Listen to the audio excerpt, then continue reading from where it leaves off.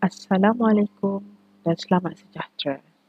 Kalau dalam kelas, awak reply perlahan, saya akan ulang balik. Assalamualaikum dan selamat sejahtera. Ya, hari ini nak bercakap dalam kelas. For today's class, I would like to remind you that we are at week 5. So when we're talking about week 5, we are focusing on consumer-driven marketing strategy, which include segmentation, targeting, differentiation, positioning. But before we go further, I would like to revisit whatever that we have learned before. For first week, we have learned about definition of marketing as well as marketing orientations. For second week, we have learned about strategic planning.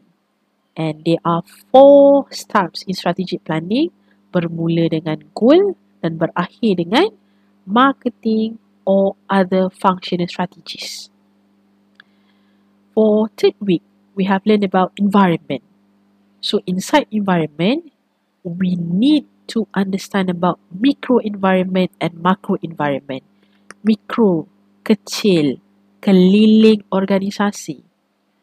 Suppliers, competitors, intermediaries, companies, and other entities which affect how company serves its customers. So yang kedua, macro environment, macro, besar, kuasa, forces.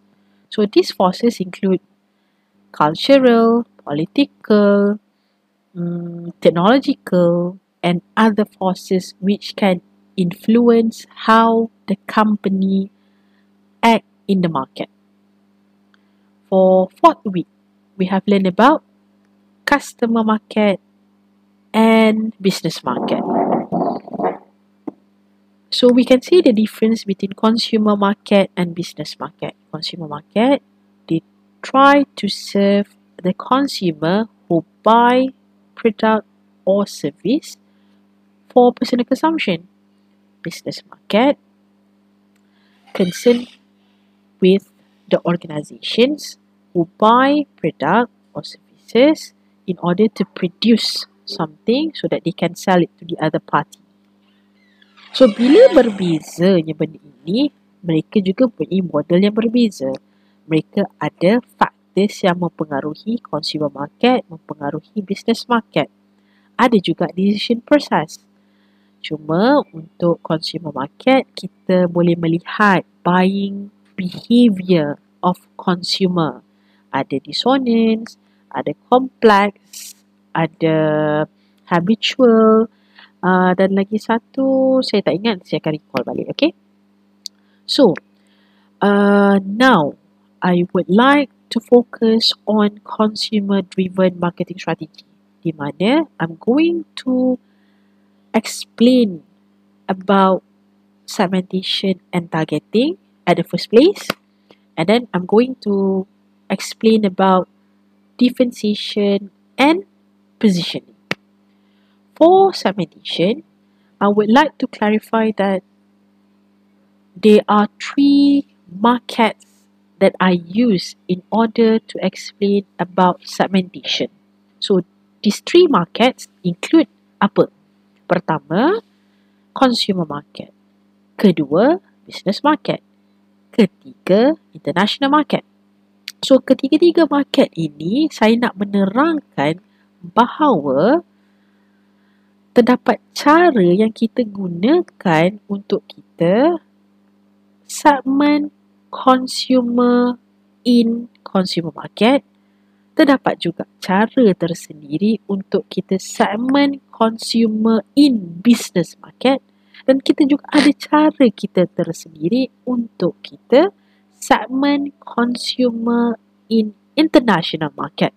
Si, sebab tu saya kata ada tiga market dan ketiga-tiga market tu ada cara mereka yang tersendiri untuk melakukan segmentation. Tapi kena faham dulu what is segmentation. Segmentation adalah proses the big market is being divided into smaller market. Jadi bila kita nak divide market, there must be certain criteria that we follow. For example, I want to segment based on state. So kalau sebelum ni satu dunia tapi when I decided to go for state, negeri. So kita ada berapa? Melaka, Negeri Sembilan, Kelantan, Terengganu. So there are many states in Malaysia. Okay. So uh, itu adalah berkaitan dengan segmentation secara general. So bila saya berkata tentang targeting, target market. So before we decide for our target market, we do segmentation. And why we do segmentation? Because we need to remember different groups will requires different needs and wants. Jadi benda tu lah kita nak tengok. Yang mana satu yang kita nak pilih untuk menjadi target market. But before kita nak pilih target market, kita buat group dulu. Okay? Jadi, sebentar lagi kita akan tengok satu-satu. How do you want to segment consumer based on consumer market? How do you want to segment consumer based on business market? How do you want to segment consumer based on international market? So, yang pertama kita tengok berdasarkan consumer market. Saya gerak sekejap eh. Mana consumer market? Okay. So, consumer market terbahagi, I mean, segmentation of consumer market terbahagi kepada empat. Geographic segmentation, demographic segmentation, psychographic segmentation, behavioral segmentation. When it comes to geographic segmentation, remember geographic tempat So contoh yang saya boleh bagi negara, negeri, bandar uh, dan juga uh, kejiranan yang awak tengah duduk sekarang.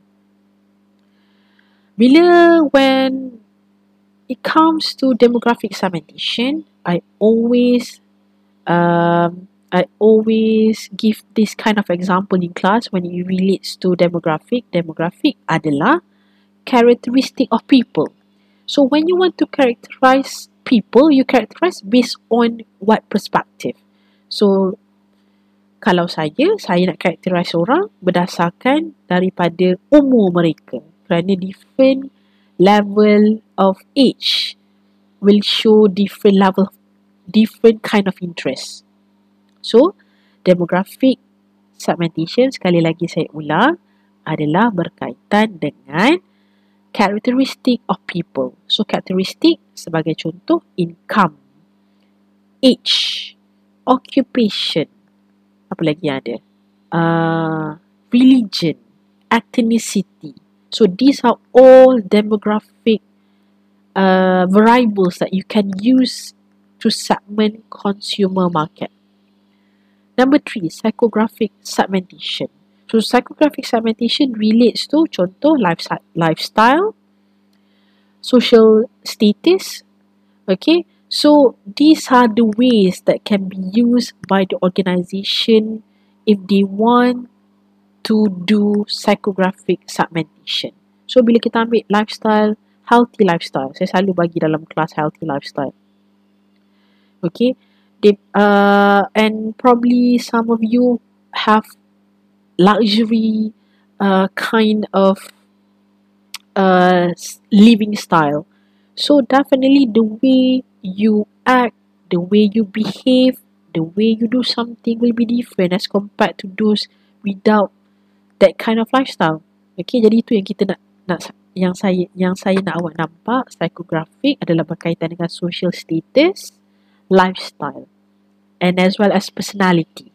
Okay, saya terlupa satu personality juga dalam psychographic. Yang terakhir ialah behavioral segmentation. So, bila saya kata behavioral segmentation, yang ni saya nak bagi tunjuk. Sebab tadi saya tak tunjuk sangat kan. Sebab saya rasa it's easy for you to understand. But this one, uh, behavioral segmentation divides a market into segment based on consumer knowledge, attitude, uses of a product, responses to a product. Behavioral behavior. How do you behave towards something? Okay, so the basis for behavior segmentation can also include occasions, benefit so, user status, usage rate, loyalty status. For occasions, I would like to give example uh, for occasions, which is festive season. So di Malaysia ada banyak festive seasons yang ada. Kita ada hari raya. Uh, kita pun tak tahu kita boleh hari raya ke tak untuk tahun ni. Okay, hari raya juga. Hari raya, uh, Aidilfitri, Aidil Adha, Christmas, uh, Tahun Baru Cina, Diva Bali. So, different occasions will um, have different will have different kind of behavior that occur inside the individual. Okay. Yang kedua, benefit so. Example yang saya boleh bagi ialah penggunaan ubat gigi. Kalau saya, saya beli ubat gigi, benefit yang saya nak ialah saya nakkan gigi yang putih seperti Fazura. Ah, itu benefit yang saya nak. Saya nak, bukan awak nak, suka hati awak lah nak apa. Okay. Ada orang, dia nak, dia nakkan benefit, okay. Apabila menggunakan ubat gigi, dia tak rasa sakit sebab dia adalah orang yang punya gigi yang sensitif. Jadi kalau boleh, dia nakkan ubat gigi yang boleh bagi that kind of benefit. So I just would like to exemplify that different people may have different expected benefit. Jadi benda ni jugalah base yang awak boleh gunakan. Okay, for example, uh, orang yang nak benefit satu, benefit dua, benefit tiga, benefit empat. So you try to segment and you can see that different group based on the benefit that they expected. User status, new user, non-user, orang yang tak pernah guna mestilah berbeza dengan orang yang baru guna dan orang yang telah lama guna, active user. Usage rate. Apabila kita gunakan produk pencuci muka, some of you tiap-tiap hari awak pakai. Some of you seminggu sekali. Some of you, macam saya kata, pakai sabun. Terpulang because we have different usage rate. So you can segment based on usage rate. Yang terakhir, loyalty status. So this one, we can see that some of you yang kita pernah belajar lagi dalam piramid. Ha. Piramid, uh, user piramid tu, okay, ada platinum, ada lead. Okay, dekat situ ada yang memang betul-betul very loyal. So when they are very loyal, whatever new product is coming, they do they are not reluctant to buy it because they are loyal to that brand. Okay, jadi these are the basis for behavioral segmentation that you can use. Cuma saya nak awak faham, tidak semestinya, okay, you have to choose all four segmentation in order for you to segment your consumer market. Jadi, bila awak tengok dekat sini, okay, some of the organisation, they use multiple segmentation because they want to find smaller, better defined target group. So, that's why dia pilih sebagai contoh demographic dan juga geographic. Dia pilih state dan juga income sebab dia nak makin better define dia nak makin spesifik kalau awak cuma pilih geografik ianya hanyalah berdasarkan kepada tempat. Tapi kalau awak pilih geografik dan juga demografik awak telah pilih tempat dan juga karakteristik of an individual or in a group. Jadi benda tu lebih spesifik. Jadi awak lebih memahami apa yang sebenarnya consumer awak mahu. Okay, tapi saya ulang sekali lagi statement yang saya bagi tahu sebelum ni. Tidak semestinya bila awak nak segmen consumer market, awak perlu pilih geografik, demografik, psikografik, behavioral. Semua tu awak nak pilih. Satu awak rangkumkan semata-mata nak lebih spesifik. Tak perlu. Because when you want to do segmentation, it actually depends on your resources. Yang mana satu sebenarnya yang awak rasa awak nak segment. Yang mana satu sebenarnya awak nak jadikan target market. Because uh, if I want to open up a business, uh, I would like to serve those people within my resources. Bila saya kata resources, capital saya, services saya, saya mahu ianya bertepatan dengan apa yang saya cuba serve. Okay? Um, okay. Seperti yang saya bagi tahu. Pada permulaan, in order for me to explain about segmentation, kita ada tiga market. Pertama, consumer market. Kedua, business market. Ketiga, international market. Uh, I think it's vital for me to explain that you can use the segmentation the way you segment consumer market for business market. Jadi maksudnya kalau awak guna segmentation untuk consumer market sebenarnya boleh juga guna untuk business market. Cuma untuk business market there are additional variables that you can use. Additional variable tu kalau kalau uh, kalau kata satu organisasi bila untuk business market dia buat geographic, dia juga buat demografik, dia juga buat uh, psychographic, dia juga buat behavioral. Sama kan? Empat sama dengan consumer market. However, when it come to business market, bukan setakat empat ni saja. Bukan setakat empat yang sama dengan consumer market tadi. Dia juga boleh menambah segmentation based on ha, ni. Satu, dua, tiga, empat. Ha, ni. Saya terpaksa mengalihkan diri saya ke sini supaya awak nampak customer operating characteristic, purchasing approaches, situational factors, personal characteristic. Okay, because you need to understand business market. Saya ulang sekali lagi kalau ada orang yang tak ingat business market ialah uh, concern dengan organisation who buy product or services in order to produce product or services dia bukan berdasarkan personal consumption seperti consumer market. Jadi siapa yang beli barang? Organisasi yang beli barang. Tapi bukanlah organisasi beli barang. Orang di dalam organisasi itu membeli barang. Dan bila kita ambil satu, purchasing approaches. Okay, when organisation buy something, sometimes they use agent. Sometimes they personally buy the product because uh, they would like, uh, because they already have the suppliers. Okay, but some of them use the agents because they would like to have cheaper price. So different company they may have different kind of approaches when they want to do purchasing.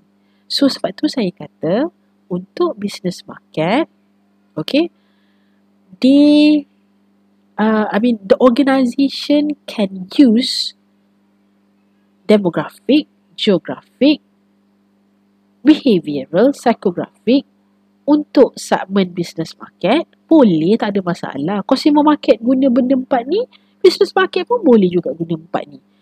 Tetapi mereka juga di dalam business market bila awak nak segmen business market boleh menggunakan customer operating characteristic, purchasing approaches, situational factors dan juga personal characteristic. Because the one who buy bukan bukan syarikat tu bangunan tu yang beli. Orang dalam bangunan tu yang beli. Orang dalam syarikat tu yang beli kan. Okay? So the expertise the the sale personnel who buy the product also can be used as the basis for segmenting business market. Yang seterusnya international market. So macam mana kita nak segment international market? Yang ini kena faham. International market bermaksud awak di Malaysia, awak nak jual barang ke Indonesia, awak di Malaysia nak jual barang ke European countries when you want to sell your product to foreign countries. Of course, when you want to go outside, there are certain things that you need to consider. So, kita pergi sebelah, saya turunkan diri saya balik. Alamak, mana ni? Sekejap ya. Tak nak turun pula dia. Sekejap. Okay.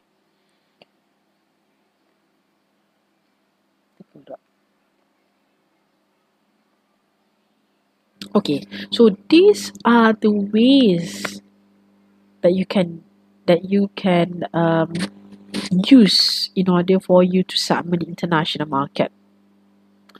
Sekejap saya ambil nota. Saya takut ada yang saya tertinggal. Bukan ni. Okay, this one. Okay, bila kita cakap pasal geographic region, and you need to remember, okay, different region, uh, bila uh, European countries, okay, awak awak awak kena remember the Brexit, and the UK is not part of European countries anymore, and you know that uh, apa, uh, those Asia Tenggara punya negara, because why you need to know about this because kita ada tax yang kita kena bayar. So bila ada tax, you need to really understand the geographic location first. Okay, di mana kita, di mana consumer, potential consumer kita berada. Economy factors, okay, it refers to this one population income level. Developing countries, what is the income level that they have? developed countries what are the income level that they have? Because this is very important because you want to sell product when you want to sell product you need to know the purchasing power that they have. You need to know what what the needs and wants of the consumer in that particular country. And the needs and wants normally depends on income that they have so these are the things that you need to really look into political and tak nampak legal factors. Uh, the amount of bureaucracy in each of the country also can be considered. Okay, sebab birokrasi ni penting uh, untuk awak tahu macam mana uh, adakah proses dia mengambil masa yang lama. Because some of the country they have a very good uh, procedure, so you do not have to wait. Okay, so that's why when you want to do segmentation, do you want to go for countries with high bureaucracy uh, uh, bureaucracy punya issue or you want to ha- you want to go for countries with low bureaucracy issues?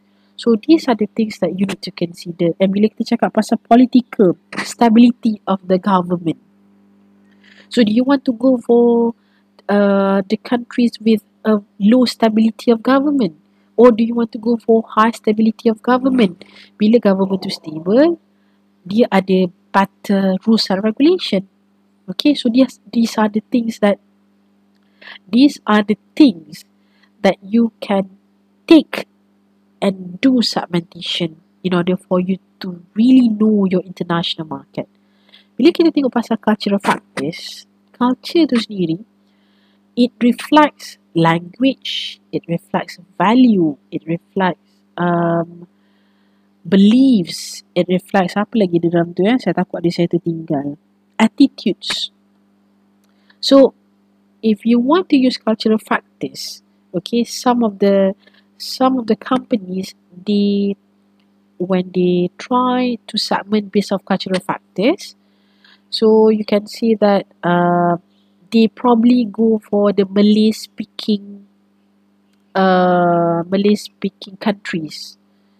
Or probably they want to go to Chinese speaking countries. Because they believe that they are more they have more uh, experience to handle those Malay speaking uh, country countries consumers. Or they believe that they have more experience to handle the Chinese speaking countries consumer So tu kita kena buat dulu segmentation. Sebab kita nak tengok yang mana satu sebenarnya kita nak serve. And you need to know what are the needs and wants of each of the segment that you have selected. Okay. So, saya rasa dah habis dah segmentation tadi. Nak beritahunya pada awak, you need to understand the definition of segmentation. When you divide the market into smaller market.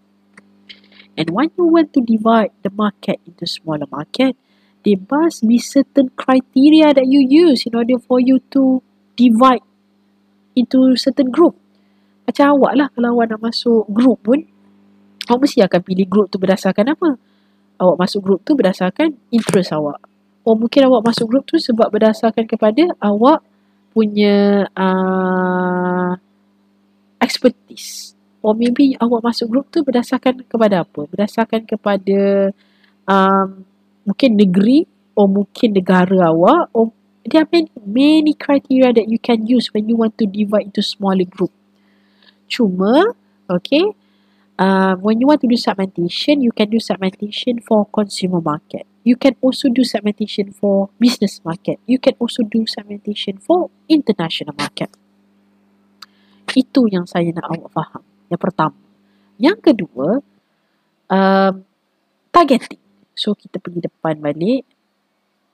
Saya pergi depan. Bukan bukan nak bukan nak tunjuk apa. Cuma nak tunjuk definition of targeting here select the segment or segments to enter so this is where okay you select which of the customer that you want to serve so if you think that you want to sell women product so that is the target market that you have selected. If you think that sebab mula-mula awak kata awak nak pilih demographic segmentation demographic segmentation gender. Gender ada man and women. Kalau tambah lagi satu terpulang lah. Ok sekarang ni saya fokus man dengan women. Jadi yang awak nak select yang mana ada juga dia kata dia nak select dua-dua because they want to they want to sell the product to women and they also want to sell uh, they also want to sell to women. Eh sorry to men. So itulah targeting. Um, cuma strategi yang kita perlu gunakan untuk targeting adalah ini.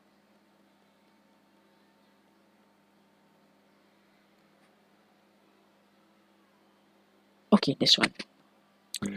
Undifferentiated, differentiated, concentrated, micro marketing. So, untuk undifferentiated ada kat sini.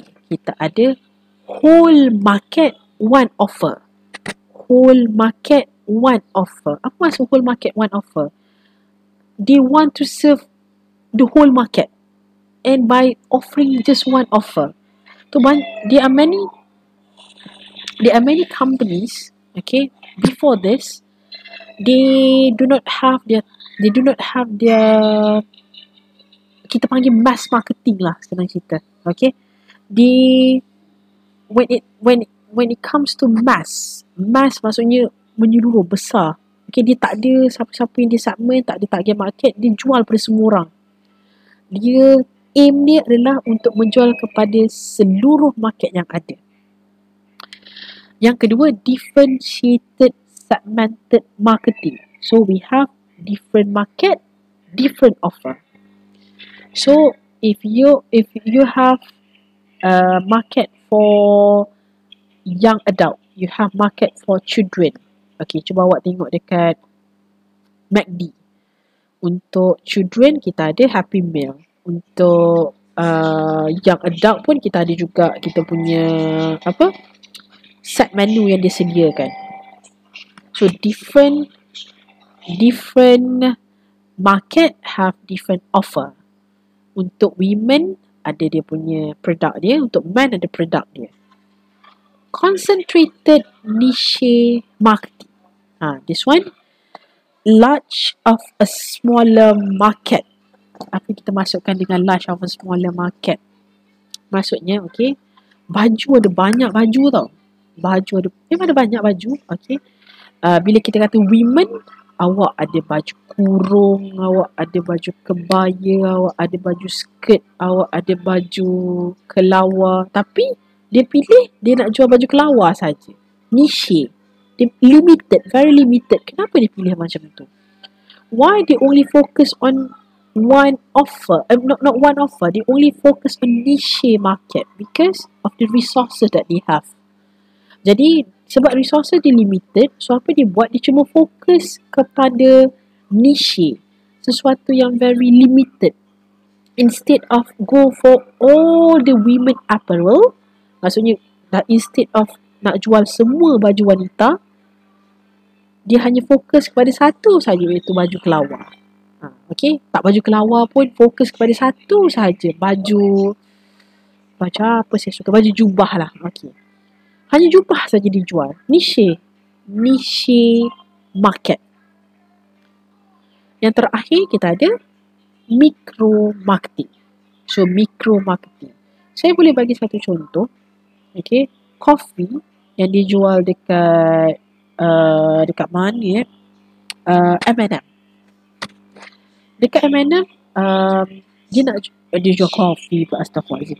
Uh, dia uh, apa? Apa yang dia buat ialah dekat dekat dia punya coklat tu tadi dia ada gambar gambar orang yang order. So bukan setakat itu saja kalau dalam kopi ataupun coklat. Okey sekejap eh. Tak ada saya tak tahu lah awak dengar ke tak tapi saya dengar anak saya tengah buka dia punya uh, apa? YouTube dia YouTube for kids lah. Saya rasa awak tak dengar kot. Okay, jadi saya boleh teruskan lah. Okay.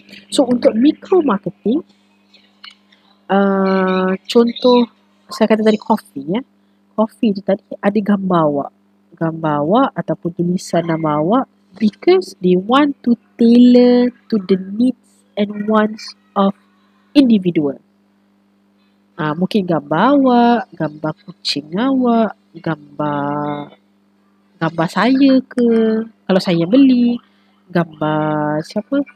Uh, tak kisahlah siapa-siapa yang beli tu, gambar dia yang keluar. Itu yang kita pakai micro marketing. Jadi, uh, I just want to tell you that segmentation, okay, they have their own strategy yang tadi untuk business market, untuk consumer market, untuk international market. Dia ada dia punya strategi dia. Untuk targeting juga ada strategi tersendiri di mana sama ada you want to focus the whole market itu kita panggil mass marketing. Semua awak nak cover. Awak tak ada target pun sebenarnya. Bukan tak ada target. You you only one market, one offer. The whole market, one offer. Okay or you want to go for differentiated segmented marketing. So di sini bermulalah different segment, different offer. Ataupun awak boleh buat concentrated niche marketing. Okay, because you only would like to focus on very limited marketing. Eh, sorry, very limited uh, target market. Dan yang terakhir, micro marketing. So this one, they tailor to the individual needs and wants. So that's why, okay, uh, many of the organisation they have considered micro marketing because they know that personalization is very important. Because uh, people want something which is special to them. It makes them become more loyal to the brand that they want to buy.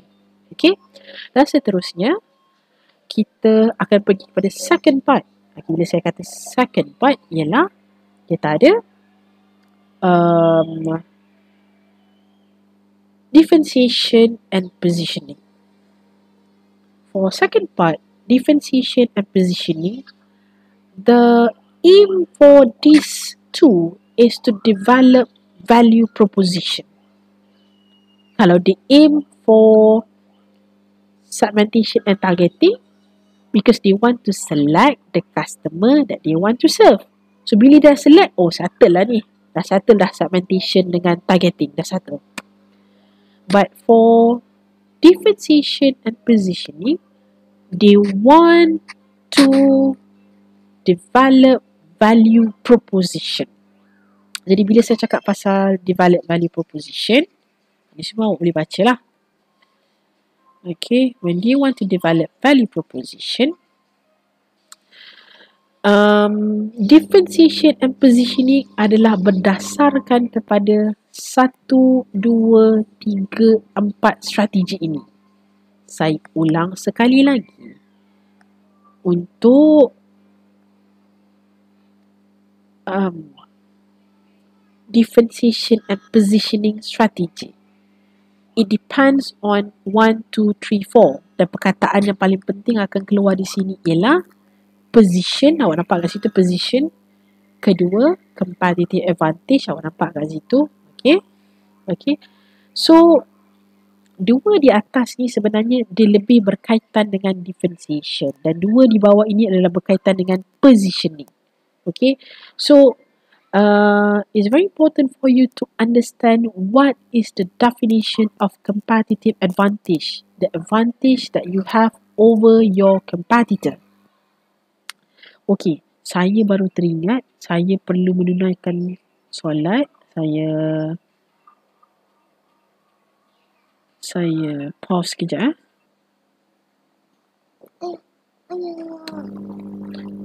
okay. Sorry. So saya letakkan Aisyah. So saya letakkan diri saya di atas ni pula. so as I mentioned before, differentiation and positioning. So these are the strategies for differentiation and positioning. So if you see the two points above, they are actually differentiation are the two points below, they are positioning strategies. So if you see here, when it comes to competitive advantage, you need to understand what is the definition of competitive advantage. Figure out advantage over competitors by offering consumer great greater value either through lower prices or by providing more benefits that justify higher prices. Because some of the organization they compete with the competitors by providing lower price. Some of the competitors eh, sorry some of the organization they compete with the competitors by offering more benefits to justify why they have higher prices as compared to the others. So the competitive advantage is actually the strength of the company when they want to compete in the market. So kita kena tahu what is the competitive advantage of our company.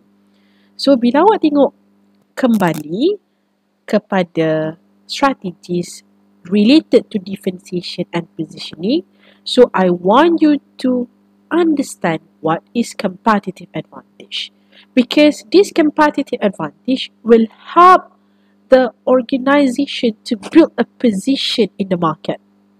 Because okay uh, the position that you have in the market only can be established when you are able to be different as compared to the others. Sorry. So in order for you to be different. These are the aspects that you can try to look and try to uh, and and try to um, that try to work on in order sorry in order for you to be different. So number one, product. So if you want to be different, you need to make sure that you have a unique product. So how can you have a unique product? By having a good research and development. So, the research and development, okay, sekejap ya. Mana pause ni? Okay, sorry. so, if you want to have competitive advantage, you can be different based on your product by having a unique product. And in order for you to have a unique product, you need to have a good research and development initiatives in the organization. And sometimes some of the organization, if they are not able to develop their own research and development, they can also outsource the process of developing the product to the other companies. Itu kita panggil outsourcing. Okay, so it's up to the creativity of the organization on how they can be different. So if you want to be different based on the product, you need to have a unique product. Which the other, which the other, sorry. Okay. Uh, besides that, you can also gain competitive advantage by having differentiation towards your services. So services can include after sales services that being provided to the customer. So sebab itulah some some of the brands walaupun mereka menawarkan harga yang tinggi So awak kena faham kenapa harga tinggi. Harga tinggi kerana servis yang tidak terdapat di tempat lain. And selalunya kita panggil uh, full service yang diberikan oleh sesebuah syarikat atau sesebuah produk atau sesebuah brand itu akan meningkatkan harga mereka. Tapi it doesn't matter because okay some of the customer they are looking for unique services or different services or personalized services from the company. So that is also one of the way for the organization to gain competitive advantage. Yang ketiga, channels. Apa yang dimasukkan dengan channels? Channel adalah bagaimana company boleh berinteraksi berhubung, communicate, reach the customer. So, uh, some of the companies they have physical store in order for the customer to reach them. But some of the companies they doesn't. Uh, some of the companies they do not only have physical store, they also have online store in order for them to reach the customer. So when you are able to provide multi channels to the customer, so this definitely will encourage active engagement and interaction between company and customers. Okay, jadi untuk kita jadi berbeza, kita perlu ada platform yang kita wujudkan di antara kita which is the company dengan customer untuk merapatkan hubungan antara mereka berdua. So channel can be supply chain channel, can be uh, can be um, can be many ways of channels that you can use whether it is online, whether it is physical store and in fact Okay, kita boleh tengok uh, dan ke, apa yang berlaku sekarang ni pada waktu PKP, the only way, okay, not not the only way, okay, some of the companies, I, I can say that some of the companies, the only way that they can reach the customer only through online channel. If they do not have or they do not know how to utilize the online channel, they definitely will not be able to survive during this PKP or MCO, Movement Control Order in Malaysia. Okay, so yang seterusnya people. So bila saya cakap pasal people, people, uh, people that I'm I'm trying to tell you here is the employees that they have, the expertise that they have. Apa yang membezakan satu syarikat dengan syarikat yang lain ialah kepakaran yang mereka ada. And uh, some of the companies, they really look into the customer service people that they have in the organization that interact with the customers. So people is one of the capital that should be that should be retained by the organisation. Bayangkan awak train people, awak train awak punya employees uh, beratus ringgit, beribu ringgit and then they just go away so it just a waste of money. Okay, if you want to be different, you need to train your people, you need to have the, the best expertise in the organisation so that you can get competitive advantage. And the, yang terakhir image. So your image is also one of the way for you to gain competitive advantage. So image is related to brand. Okay, so that's why you can see that some of the people when they are very loyal to a brand, they are willing to buy any product from that particular brand. Saya boleh cakap uh, kebanyakannya dos uh, yang uh, very very attached to brand normally dia dia tak kisah keluar berapa banyak sekalipun harga.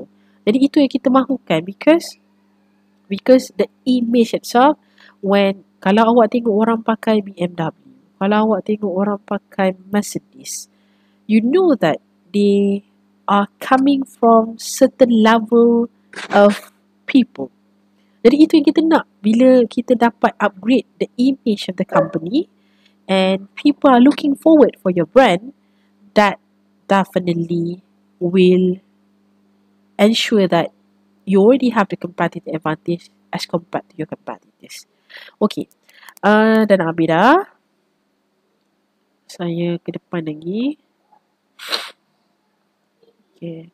Okay, this one if before this I'm talking about competitive advantage and how are you able to be uh, how you are able to gain competitive advantage by being different and if you want to be different you can be different because of your product because of your image because of your service di sini saya nak bercakap tentang positioning okay so dalam positioning kalau awak tengok balik dekat depan okay first you need to have overall positioning strategy. Second, you need to communicate the position the positioning strategy that you have to the market. Jadi kalau awak ada positioning strategy tapi orang tak tahu pun tak guna sebab you need to make sure that the customer knows uh, what is your positioning strategy. Okay, some of the company they want people to see their product as luxury product. So customer kena nampak lah memang okay, if I buy this product, I will look rich. So you need to make sure that the customer, the market knows where do you position your product at the market. So kalau kita pergi balik dekat sini, okay. Um, saya turunkan balik diri saya. Mana? Okay, here. You see that benefits and price. Saya pernah bagi tahu tadi kat depan if you want to have competitive advantage, some of the companies they offer lower price uh, in order for them to gain competitive advantage as compared to the competitors. Ada yang menawarkan benefit yang lebih. Okay, jadi dalam positioning strategi ni juga you can see that between benefit price. So bila awak tengok yang pertama, saya nak awak tengok pertama tu. More for more. Maksudnya, awak tawarkan more benefit.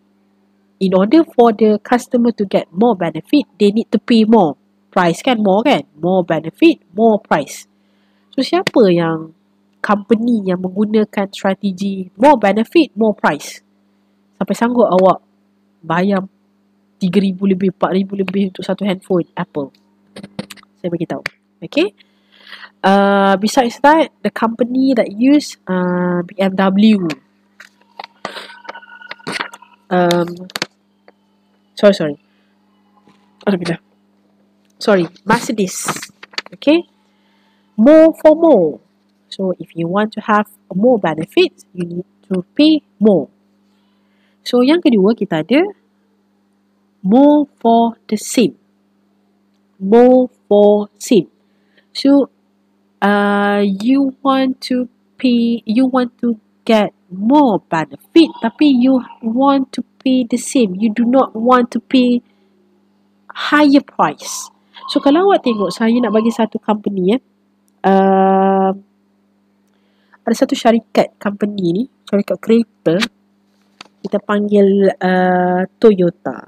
Okay dia keluarkan Lexus line ni sebab dia nak menunjukkan yang dia sama taraf juga dengan BMW okay so dia mengeluarkan satu model dia uh, benefit yang lebih banyak dan harga yang sama. Jadi this particular company they are trying to pursue this kind of strategy. Di mana you the uh, di mana customer uh, dia okay sorry. Okay di mana customer uh, mendapat benefit yang lebih banyak tapi dalam harga yang sama. Okay Toyota uh, dia melakukan Toyota Lexus line. They are giving they are using this kind of strategy in order for them to compete in the market. Uh, saya tak nak tengok yang tepi tu yang di mana more for less. Sebab more for less tu adalah yang terbaik sebenarnya. The winning proposition. Okay jadi saya tengok belah bawah dulu. Less for more less. Less for more less. Sorry less for much less company yang menggunakan ialah Ryan Air Jet Air those companies that uh, if you want to if you want to pay less and you get less benefit. Jadi sebab itulah kalau awak tengok kalau awak uh, kena RM2, okay, kita ambil paling mudah sekali lah kena RM2. Um, kualiti barang yang tidak bagus, uh, bukanlah tidak bagus, kualiti barang yang kurang, yang yang yang yang lower, lower quality product, okay, but they are able to pay for lesser price. Jadi, Ryanair, uh, Jet Air, these are low cost airlines overseas. From overseas, they are using less for much less. So, they get less benefit. The customer get less benefit.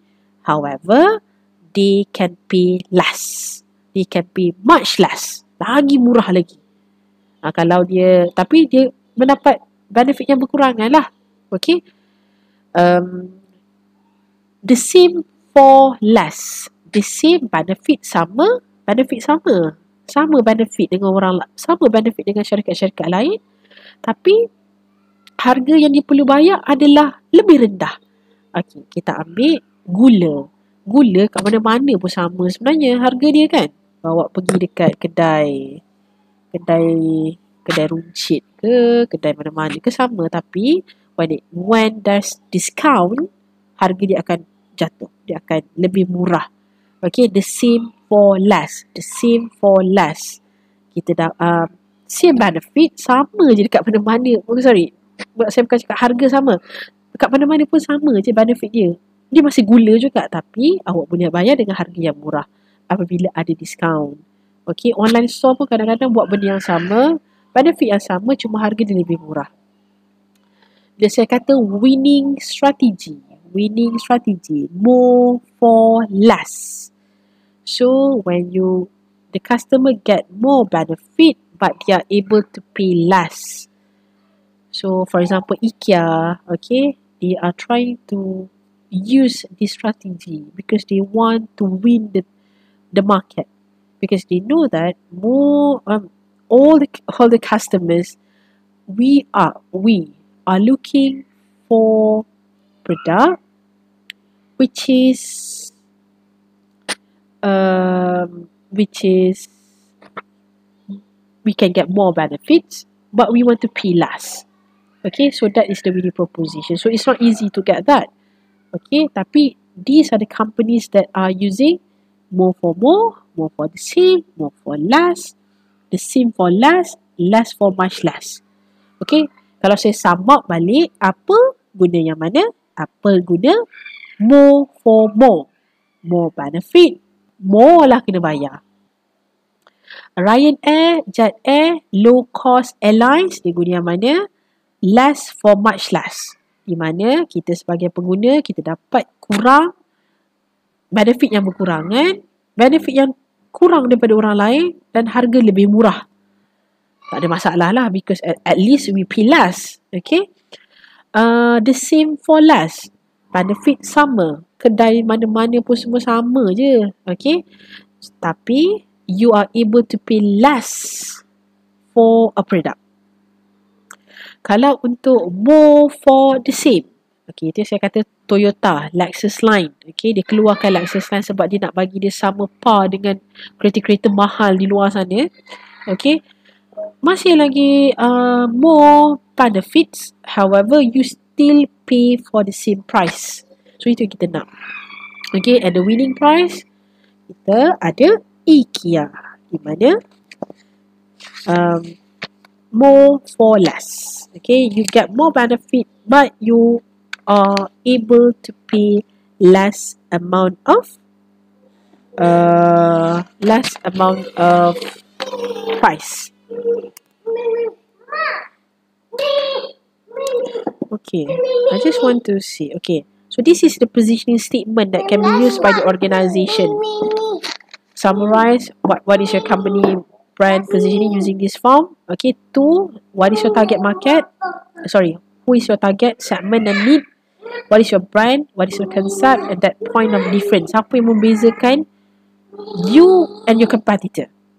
Whether it is based on the product, whether it is based on your image, or whether it's based on your channel, or based on your people. Okay, so you need to have positioning statement. So dalam positioning ada dua benda yang penting lah. Value proposition as well as positioning statement. Okay, that's all. Thank you very much. So I hope that if you have any inquiry, please let me know. Uh, I'm sorry if I am too fast um, because this is actually online learning and I believe that if there is any part that you think which is too fast, you can just you can just um, pause and take some time to digest whatever that I try to convey to you and I would like you to remember that this uh, chapter is one of the most important chapters that you need to remember. You need to understand because this marketing strategy is focused on the consumer.